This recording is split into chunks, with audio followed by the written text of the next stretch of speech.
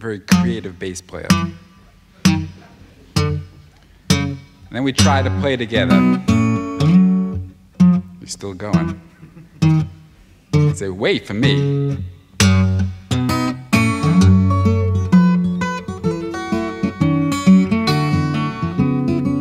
That's us playing together.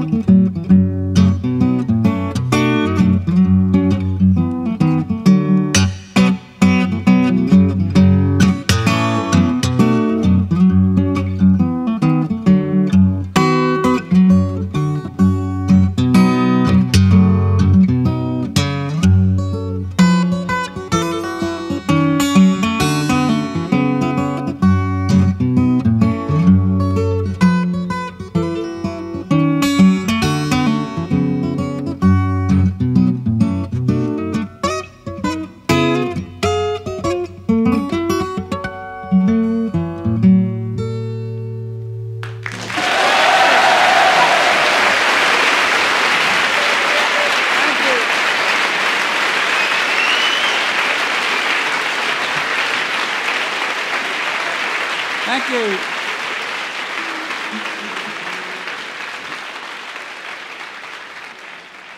Thank you.